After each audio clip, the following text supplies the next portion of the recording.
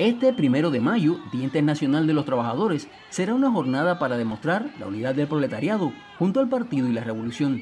Así lo aseguran quienes en el municipio de Campechuela tienen la responsabilidad de organizar el cronograma de actividades que se efectuará en este territorio.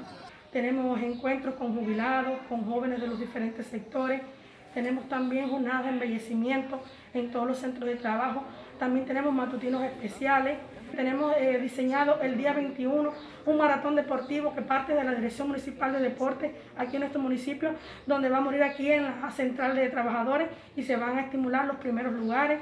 También tenemos previstos hacer eh, donaciones de sangre con todos nuestros afiliados de los diferentes sectores. El día 26 estaríamos desarrollando el acto de barrio del Consejo Popular de Ceibahueca. El día 27 estaríamos desarrollando el del Consejo Popular de San Ramón.